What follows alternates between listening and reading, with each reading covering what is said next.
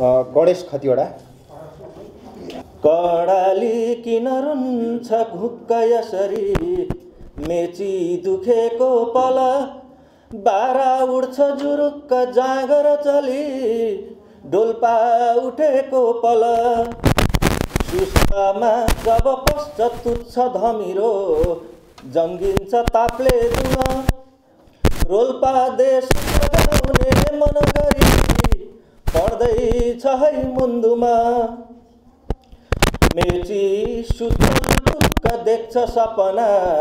काली निदायो भने बाके भिज्छ हिमालमा जल कतै धर्केर आयो भने के सुस्ता लिपुलिम्पिया दुखिरहे। खोटाङ दुख्दैन र के सुस्ता लिपुलिम्पिया दुखिरहे। खोटाङ दुख्दैन र जुम्ला दाङ छ म भोजपुरको माटो उही होइन र गार्गी पाणिनि यज्ञ बल्क्य ऋषिका छन् मन्त्रका साधना त्यस्तै पिङ्गल ऋष्य शृङ्ग ऋषिका इच्छा मनोकामना।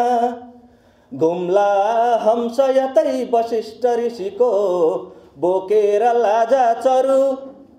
घुम्ला हंस यतै वशिष्ठ ऋषिको बोकेर लाजा चरु। हावामा जलमृत्तिकार वनमा छन् वेद बाणीहरू। मेरो मन्दिर राष्ट्र हो सँगसँगै माटो स्वयं ईश्वर।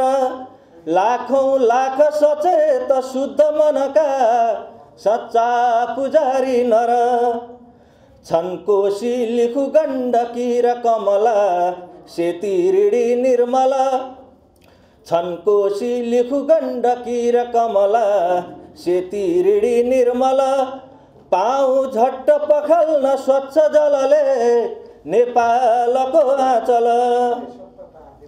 मोती फल्दछ फाट मार वनमा सञ्जीवनी फुल्दछन्।